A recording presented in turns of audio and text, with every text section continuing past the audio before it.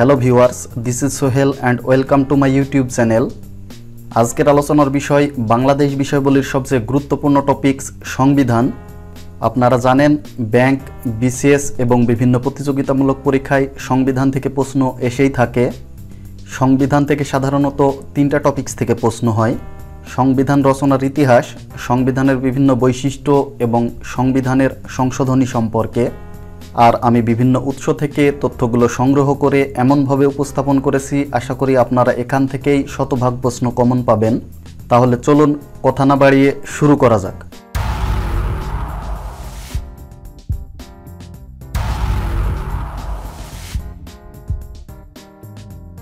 Welcome back. প্রথমে শুরু করব সংবিধান সম্পর্কিত কিছু গুরুত্বপূর্ণ তথ্য দিয়ে। বাংলাদেশের সর্বোচ্চ আইন সংবিধান, বাংলাদেশের সাংবিধানিক নাম গণপ্রজাতন্ত্রী বাংলাদেশ। বাংলাদেশ সংবিধানের প্রস্তাবনা আছে একটি, বাংলাদেশ সংবিধানের মূলনীতি আছে চারটি, বাংলাদেশ সংবিধানের তফসিল আছে সাতটি, বাংলাদেশ সংবিধানের অধ্যায় বা ভাগ আছে এগারোটি, বাংলাদেশ সংবিধানের অনুচ্ছেদ আছে একশো তিপ্পান্নটি। বাংলাদেশের অস্থায়ী সংবিধান সংবিধানাদেশ জারি করেন বঙ্গবন্ধু শেখ মুজিবুর রহমান। অস্থায়ী সংবিধানাদেশ জারি করেন উনিশশো বাহাত্তর সালের এগারোই জানুয়ারি। এবারে আলোচনা করব গণপরিষদ সম্পর্কে। গণপরিষদ আদেশ জারি করেন উনিশশো বাহাত্তর সালের তেইশে মার্চ। গণপরিষদের সদস্য ছিল চারশো জন। গণপরিষদের প্রথম অধিবেশন বসে সতেরোই এপ্রিল উনিশশো বাহাত্তর। গণপরিষদের প্রথম অধিবেশনের সভাপতি ছিলেন মাওলানা আব্দুর রশিদ তর্কবাগিস গণপরিষদের প্রথম স্পিকার ছিলেন শাহ আব্দুল হামিদ। গণপরিষদের প্রথম ডেপুটি স্পিকার ছিলেন মোহাম্মদুল্লাহ। এবারে আলোচনা করব সংবিধান রচনা কমিটি সম্পর্কে। সংবিধান রচনা কমিটির সদস্য ছিলেন চৌত্রিশ জন। সংবিধান রচনা কমিটির প্রধান ছিলেন ডক্টর কামাল হোসেন। সংবিধান রচনা কমিটির একমাত্র মহিলা সদস্য ছিলেন বেগম রাজিয়া বানু। সংবিধান রচনা কমিটির একমাত্র বিরোধী দলীয় সদস্য ছিলেন সুরঞ্জিত সেনগুপ্ত। সংবিধান রচনা কমিটি গঠিত হয় এগারোই এপ্রিল উনিশশো বাহাত্তর। সংবিধান রচনা কমিটির প্রথম বৈঠক অনুষ্ঠিত হয় সতেরোই এপ্রিল উনিশশো বাহাত্তর। এবারে আলোচনা করব সংবিধান উত্থাপন ও কার্যকর সম্পর্কে। খসড়া সংবিধান গণপরিষদে উত্থাপিত হয় বারোই অক্টোবর উনিশশো বাহাত্তর। উত্থাপন করেন ডক্টর কামাল হোসেন। বাংলাদেশ সংবিধান গৃহীত হয় চারে নভেম্বর উনিশশো বাহাত্তর সালে। আর এই জন্যই সংবিধান দিবস চারে নভেম্বর। বাংলাদেশ সংবিধান কার্যকর বা প্রবর্তিত হয় ষোলোই ডিসেম্বর উনিশশো বাহাত্তর সালে। এবারে আলোচনা করব হস্তলিখিত সংবিধান সম্পর্কে। হস্তলিখিত সংবিধান ছিল তিরানব্বই পাতার। হস্তলিখিত সংবিধানের মূল লেখক ছিলেন আব্দুর রৌ হস্তলিখিত সংবিধানের কারুকার্য করেন শিল্পাচার্য জয়নুল আবেদিন। হস্তলিখিত সংবিধানে স্বাক্ষর করেন তিনশো নয় জন। হস্তলিখিত সংবিধানে স্বাক্ষর করেন নাই সুরঞ্জিত সেনগুপ্ত। এবারে আলোচনা করব সংবিধান সম্পর্কিত কয়েকটি গুরুত্বপূর্ণ তথ্য সম্পর্কে। বিশ্বের সবচেয়ে বড় সংবিধান ভারতের, বিশ্বের সবচেয়ে ছোট সংবিধান যুক্তরাষ্ট্রের, লিখিত সংবিধান নেই ব্রিটেন, স্পেন, সৌদি আরব এবং নিউজিল্যান্ডে। বিশেষ করে ব্রিটেনের লিখিত সংবিধান নেই, এটি বিভিন্ন প্রতিযোগিতামূলক পরীক্ষায় বারবার এসে থাকে। এবারে আলোচনা করব সংবিধান সম্পর্কিত অন্যান্য গুরুত্বপূর্ণ তথ্য সম্পর্কে। বাংলাদেশ সংবিধানের প্রস্তাবনার উপরে লেখা আছে বিসমিল্লাহি রহমানের রাহিম। বাংলাদেশের নাগরিকগণ বাংলাদেশি বলে বিবেচিত হবেন সংবিধানের ছয়ের দুই নম্বর অনুচ্ছেদ অনুযায়ী। বাংলাদেশের সংবিধানে শিক্ষার অধিকার নিশ্চিত করা হয়েছে সতেরো নম্বর অনুচ্ছেদে। বাংলাদেশ সংবিধানের মৌলিক অধিকার আছে তৃতীয় ভাগে। সকল নাগরিক আইনের দৃষ্টিতে সমান এবং আইনের সমান আশ্রয় লাভের অধিকারী বলা হয়েছে সাতাশ নম্বর অনুচ্ছেদে। রাষ্ট্র ও গণজীবনের সর্বস্তরে নারী পুরুষের সমতা বিধান করা হয়েছে আঠাশের দুই নম্বর অনুচ্ছেদে। চলাফেরার স্বাধীনতার কথা বলা হয়েছে ছত্রিশ নম্বর অনুচ্ছেদে। চিন্তা ও বিবেকের স্বাধীনতার কথা বলা হয়েছে উনচল্লিশ নম্বর অনুচ্ছেদে। এবারে আমরা আলোচনা করব নির্বাহী বিভাগ সম্পর্কে। জাতীয় সংসদের অধিবেশন আহ্বান স্থগিত ও ভেঙে দেন রাষ্ট্রপতি। জাতীয় সংসদ কর্তৃক গৃহীত বিল সম্মতির জন্য রাষ্ট্রপতি সময় পান পনেরো দিন। রাষ্ট্রপতি অধ্যাদেশ জারি করতে পারেন তিরানব্বই নম্বর অনুচ্ছেদ অনুযায়ী। কার সম্মতি ছাড়া কোনো বিল পাশ হবে না, রাষ্ট্রপতির। রাষ্ট্রপতির অভিশংসন সম্ভব, বাহান্ন নম্বর অনুচ্ছেদ অনুযায়ী। রাষ্ট্রপতিকে অভিশংসন করতে হলে দুই তৃতীয়াংশ সংসদ সদস্যর ভোট লাগে। প্রধানমন্ত্রীকে নিয়োগ দেন রাষ্ট্রপতি, বাংলাদেশের রাষ্ট্রপ্রধান রাষ্ট্রপতি, বাংলাদেশের সরকার প্রধান প্রধানমন্ত্রী।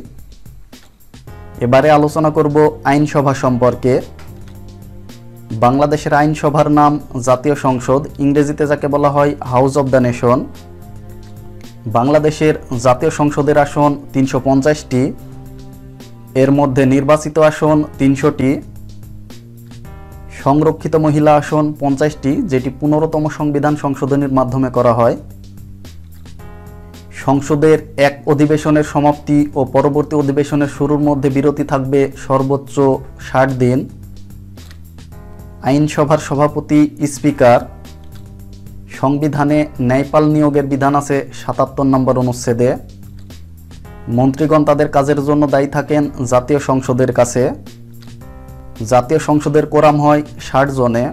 কোরাম মিন্স রিকোয়ার্ড নাম্বার অর্থাৎ যতক্ষণ না পর্যন্ত ষাট জন সংসদ সদস্য সংসদে উপস্থিত হবেন, ততক্ষণ পর্যন্ত সংসদ অধিবেশন শুরু করা যাবে না।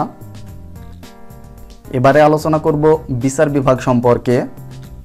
বাংলাদেশ সংবিধানের অভিভাবক ও ব্যাখ্যাকারক সুপ্রিম কোর্ট। সুপ্রিম কোর্টের প্রধান বিচারপতি নিয়োগ দেন রাষ্ট্রপতি। বিচারপতিদের সর্বোচ্চ বয়স সীমা সাতষট্টি বছর। সংবিধানে প্রশাসনিক ট্রাইব্যুনাল বিষয়টি আছে একশো সতেরো নম্বর অনুচ্ছেদে। এবারে আমরা আলোচনা করব নির্বাচন কমিশন সম্পর্কে। নির্বাচন কমিশন গঠনের কথা বলা হয়েছে একশো আঠারো নম্বর অনুচ্ছেদে। প্রধান নির্বাচন কমিশনার ও অন্যান্য নির্বাচন কমিশনারদের নিয়োগ দেন রাষ্ট্রপতি। নির্বাচন কমিশনারের মেয়াদকাল পাঁচ বছর। সংবিধানে মহাহিসাব নিরীক্ষক ও নিয়ন্ত্রক পদের কথা বলা হয়েছে একশো সাতাশ নম্বর অনুচ্ছেদে। বাংলাদেশ সরকারি কর্ম কমিশন গঠিত হয় একশো সাঁত্রিশ নম্বর অনুচ্ছেদ অনুযায়ী।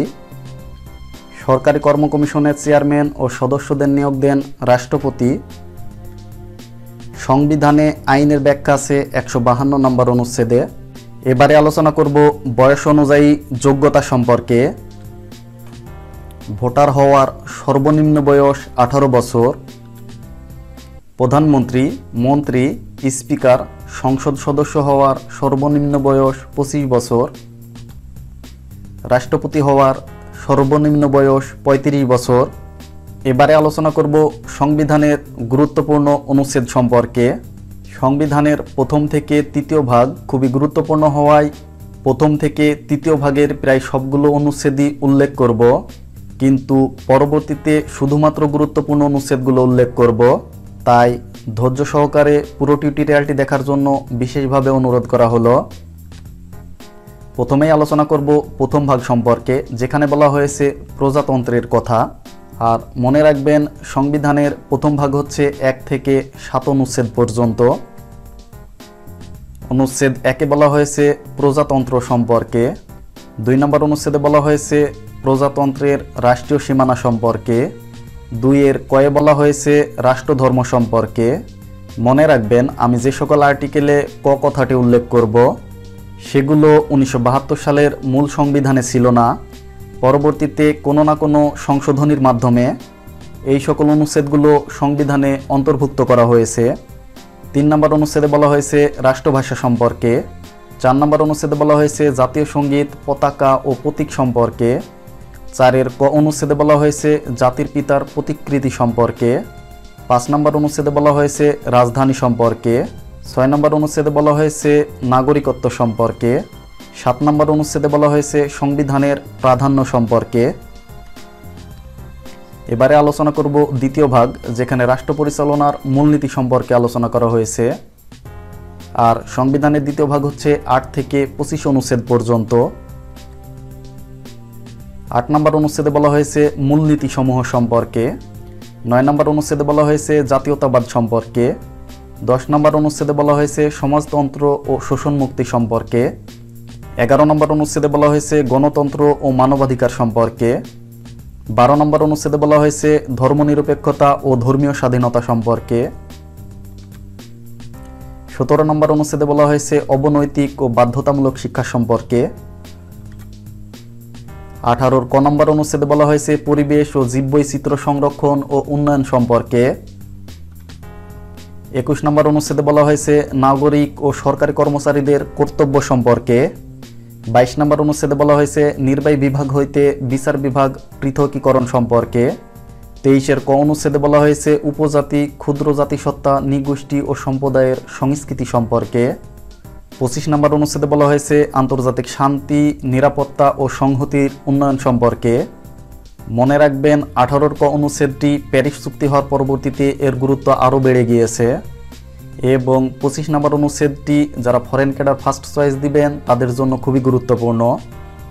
বিভিন্ন সময় ভাইবাতে এই আর্টিকেলটির কথা জিজ্ঞেস করা হয়। এবারে আলোচনা করব তৃতীয় ভাগ সম্পর্কে, যেখানে মৌলিক অধিকার সমূহ সম্পর্কে আলোচনা করা হয়েছে। আর সংবিধানের তৃতীয় ভাগ হচ্ছে ছাব্বিশ থেকে সাতচল্লিশ অনুচ্ছেদ পর্যন্ত। মনে রাখবেন, সংবিধানের সবচেয়ে গুরুত্বপূর্ণ ভাগ হচ্ছে তৃতীয় ভাগ, কারণ এখানে মৌলিক অধিকার সমূহ সম্পর্কে বলা হয়েছে। সাতাশ নম্বর অনুচ্ছেদে বলা হয়েছে আইনের দৃষ্টিতে সমতা সম্পর্কে। আঠাশ নম্বর অনুচ্ছেদে বলা হয়েছে ধর্ম প্রভৃতি কারণে বৈষম্য সম্পর্কে। উনত্রিশ নম্বর অনুচ্ছেদে বলা হয়েছে সরকারি নিয়োগ লাভের সুযোগের সমতা সম্পর্কে। একত্রিশ নম্বর অনুচ্ছেদে বলা হয়েছে আইনের আশ্রয় লাভের অধিকার সম্পর্কে।